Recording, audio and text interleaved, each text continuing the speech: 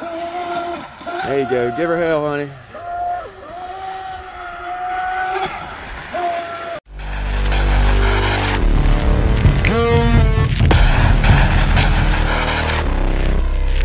So we're gonna take the boat out. You got a new boat, you're gonna take it out and you don't know what you need. What do you need to take your boat out for a day on the water? So what I like to do, I bring my book bag. I, I got a designated book bag that I take out my boat with. I've also got a designated toolbox that I take my boat out with. I'm gonna, I'm gonna kind of show you some of my key things that I bring out with me that helps me out every time I go, I don't even take this stuff out. My toolbox, all this stuff stays in my toolbox and all my tools stay in my workshop.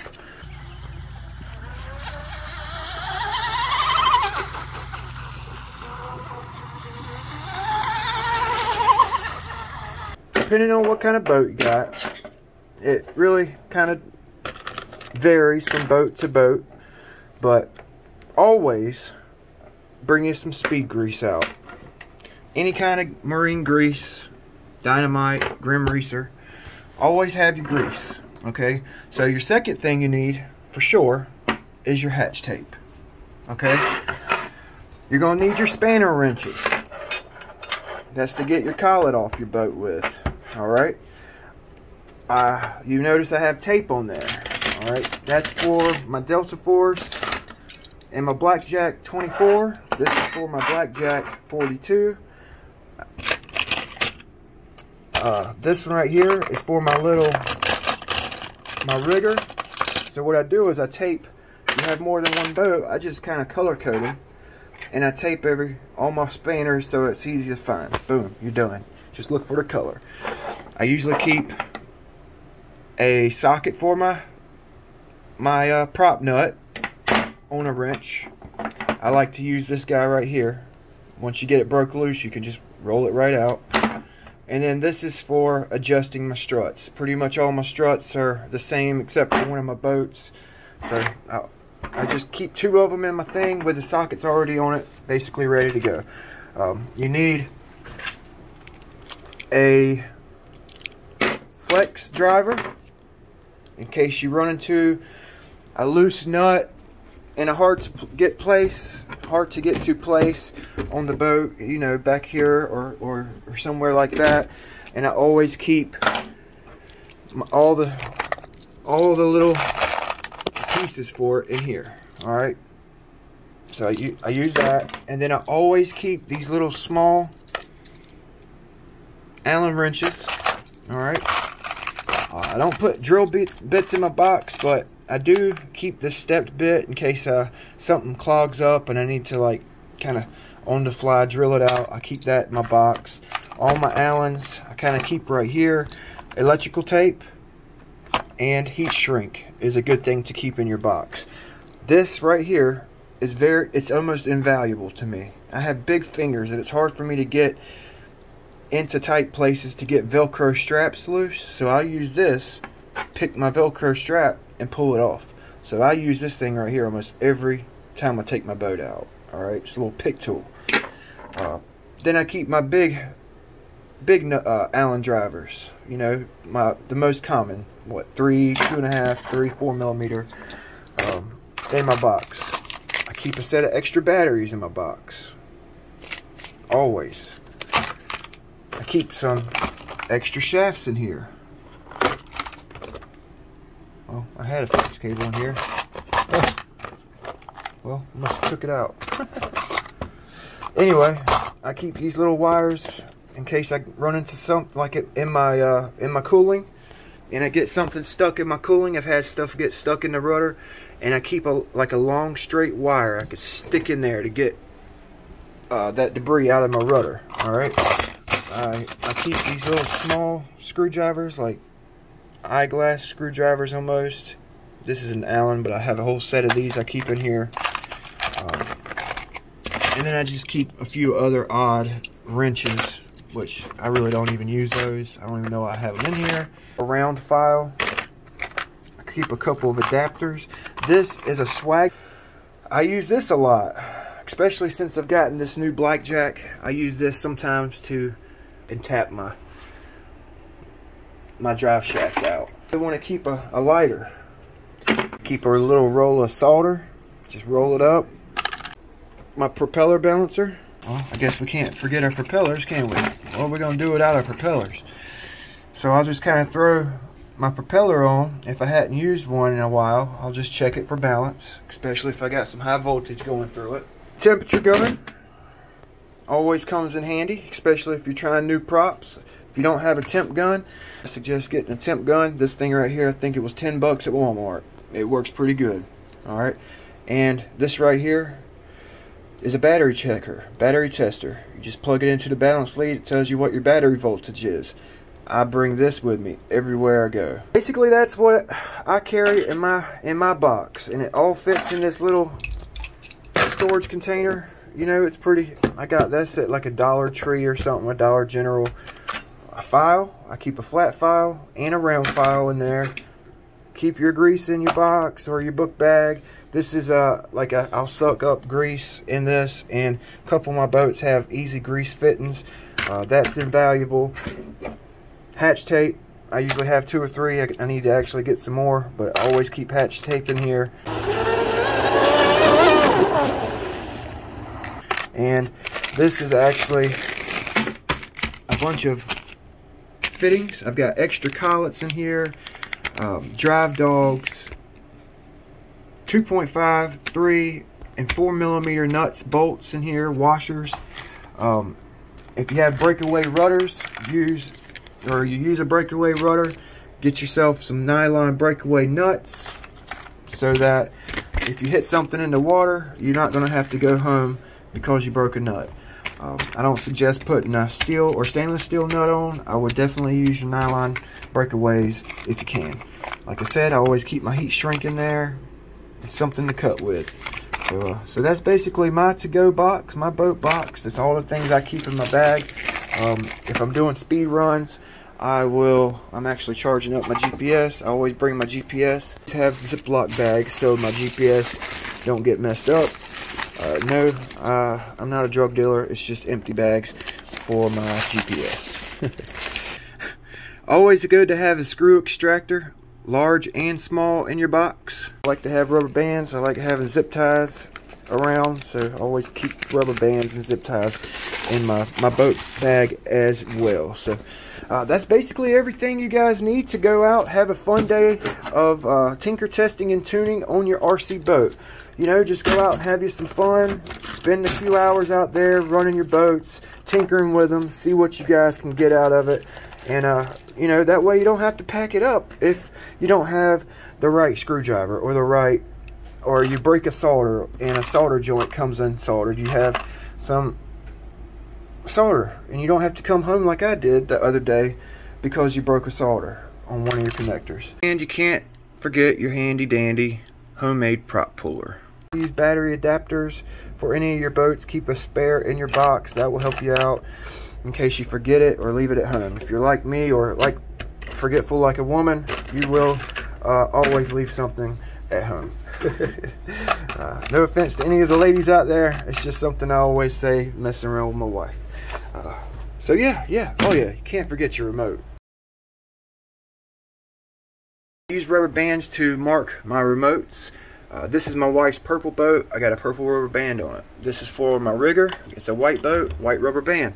This is for the 24 Blackjack. Uh, couldn't find a red rubber band, but I got black rubber bands on it. I know which one it is. This is for my Delta Force. It's like a yellow orange boat. Got the yellow rubber band on it. Uh, orange for my Blackjack 42. Just put that rubber band on today. So that's how I kind of color code my remotes so I know which one is which. Um, I also do it for my trucks. Big brushless motor box. I put a piece of foam in here for my propellers with a little like stainless steel rods sticking out of the foam to hold my props all in place. And I just kind of, like I said, I like rubber bands. I just rubber band it together so that my props don't fall out when we're traveling. I'll throw that in my book bag like so. Uh, batteries go on the side so that they're easy to get to. And this is the one thing I forget the most. paper towels or a rag of some sort to dry your boat off when you're putting your hatch tape on. I always forget my paper towels. It's like, to me, that might be the most important thing. Need a recovery boat. Use a Blackjack 24 for my recovery boat. If you don't have a recovery boat, uh, keep you a, a rod and reel in your car or just bring it out every time you, you take your RC boat out. This is everything I bring out with me. Kind of lay it out so I can work on my boats, adjust the struts, adjust trim tabs, and uh, basically just have a good time out here. I got the Blackjack 24 and the 42. Basically, you're going to use the 24 for a recovery boat. Uh, actually, well, I'm actually trying out a new propeller I got for this 24. I just got done balancing it. I hadn't polished it yet, but this is a very high pitched propeller I wanted to try out. Hopefully it don't blow my electronics up.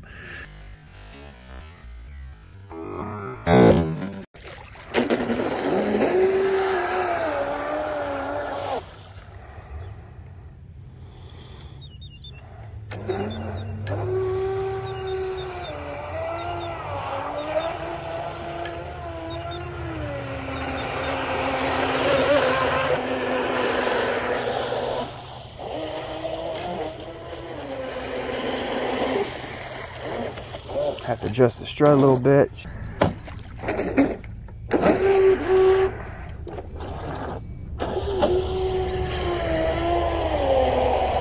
Yeah, she's running too wet.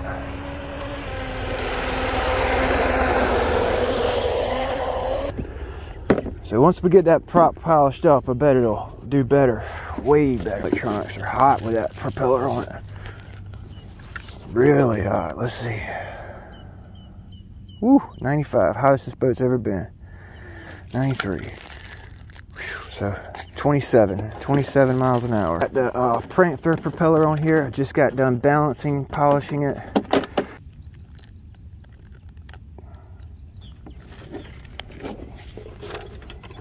Plug my battery in on my recovery boat. Basically, have my remote on. All I have to do is turn the switch on and put the cowling on. Um, that way, if I flip my boat, it kind of be ready to go. I don't have to scramble putting batteries in. Um. So I got the Prather 270 on. How about that? Where I hit that duck. Look at that. Oh man.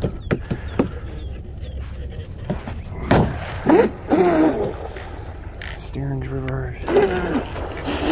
Oh wow, man! I sharpened that prop up. It's actually doing nice.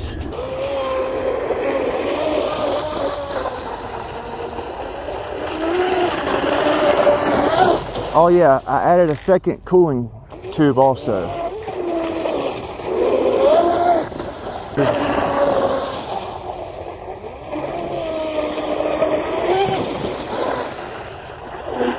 Run, oh, runs good on 6S. 8S, it wants to blow over real bad.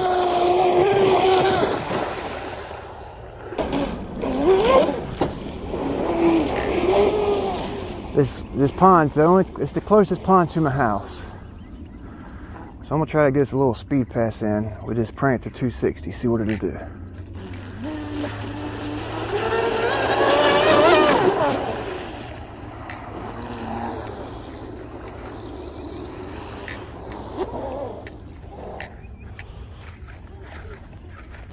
Oh, don't tell me I lost that prop.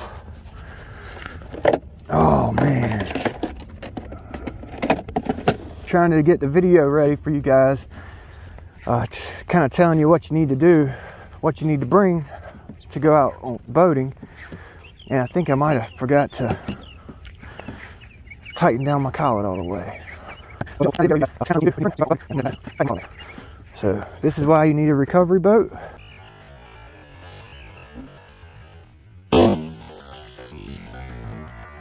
Oh, two boats. I'm an idiot. I'm an idiot. I'm an idiot. I'm an idiot. Oh, I hope I didn't lose my propeller shaft.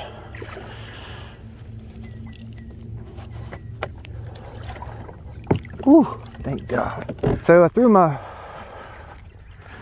my recovery boat in to get my big boat and I didn't have it turned on. oh boy. Dude, let's see if we got a broken cable.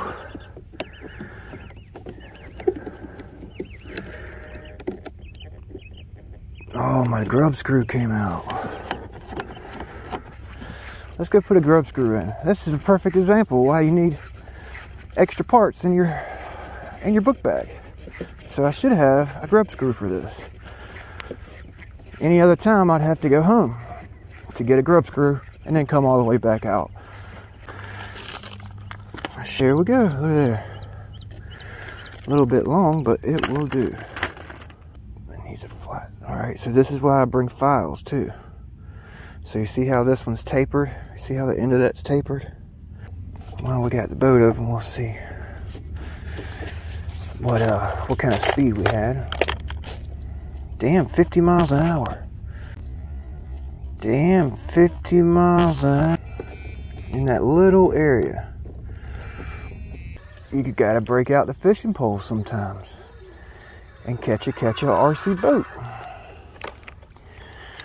All right, get over here. I usually just use like a little flat sinker or any type of heavy sinker so it goes down to the bottom and uh, you can basically pull your boat in instead of waiting for the wind to bring it in.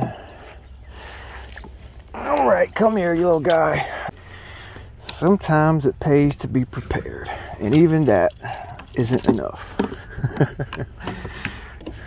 TFL 438.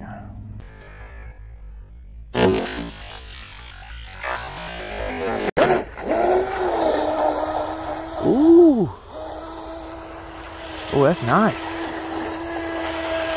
Oh man, that's nice. Pretty out here.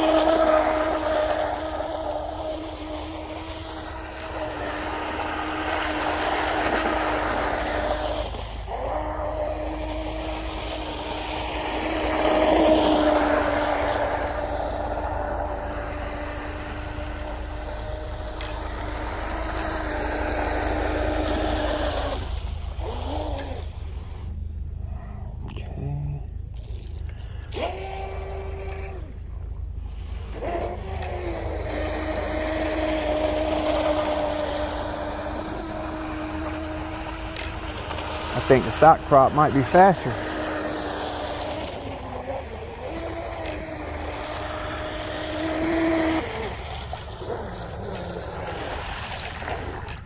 Yeah, I was gonna get you guys a video today. I uh, wanted to do the 42, but the Blackjack 24 will do just fine. Oh my gosh, so my battery's dead in my remote. All right, so I'm glad I brought batteries let's uh, let's put some batteries in. This is why it always pays to be prepared. I can't get this boat to turn on. You hear it beeping? And I don't think this propeller would over overheat it. It was uh what 90 90 degrees. Um, that propeller is actually small for this boat. Um, I can't get the ESC to turn on now. So um, change the batteries out in the remote and I just get a beep, beep, beep. So we're gonna go home and diagnose the problem. So yeah, yeah, this is a this is this blackjack. It's it's all stock. I mean everything's stock about it. Even the cooling stock. I hadn't even touched anything. It's basically my wife's bow. I got it for her. But this is pro future project overkill. We're gonna do something with it later on. But uh, let's throw a battery in it see what see what it does. See if we can figure it out.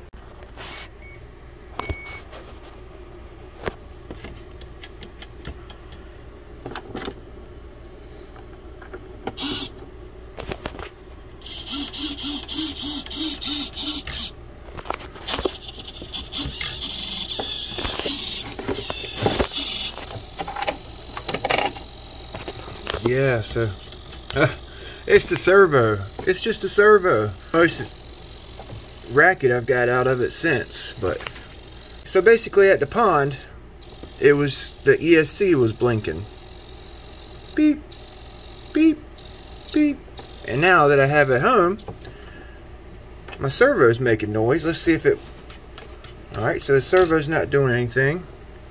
All right, so let's turn it off, see what's going on.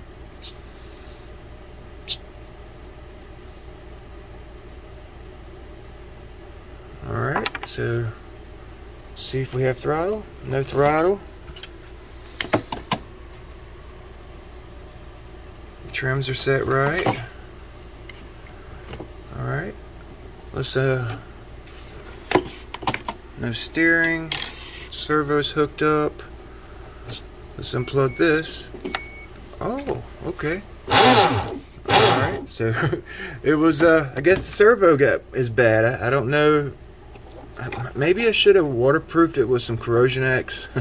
you would think they'd put a waterproof servo in the boat, but really it wasn't even wet. Well, I didn't even dump the boat out. Let's see how much water was in here. a drop or two. So we're just gonna change the servo out. I got this old Savox that I had to replace the uh, RX wire on. We'll throw that in there. It's Corrosion X. This thing's probably two years old. we'll use it. But uh, but yeah, you never know. You never know. Always be, always come prepared. You never know. you never know. Well, I I definitely don't keep servos with with me in my boat bag, but you never know. All right, so let's go over to the Blackjack 42. All right, so so the Blackjack 42, the uh, the drive dog actually, I had just just shot that last video about an hour, and I had put a Loctite in it. Didn't give it long enough to sit up. Maybe I didn't have it tight. I was kind of, you know, kind of ready to go take the boat out. I actually changed out my drive dog. All right, tapered drive dog shouldn't create any resistance, any heat on my bushing. And I'm going to use this one. This is what I'm going to use from now on. Well, well, I guess uh, I guess we're going to call it a day. It just wasn't a good day for Big B on the water. And it happens. It happens to the best of us. It don't matter how prepared you are. Uh, it, some days are better than others. So, uh, thank you guys for watching. I know this video was kind of kind of uh, silly, but uh, those of you getting into the hobby, just know that things happen and uh, sometimes there's nothing you can do about it. Uh, we came prepared. We had our batteries. We had our extra double A's for the remote. Sometimes those go dead. We had all the tools. We had all the replacement parts. Uh, sometimes it just isn't meant to be, I guess. But thank you guys for watching Ironclad RC, a channel where we tinker, test, and bomb everything RC. Don't forget to like, comment, and subscribe to the channel. Uh, ring that bell to get notified for future builds, future projects. As always, thank you guys for watching.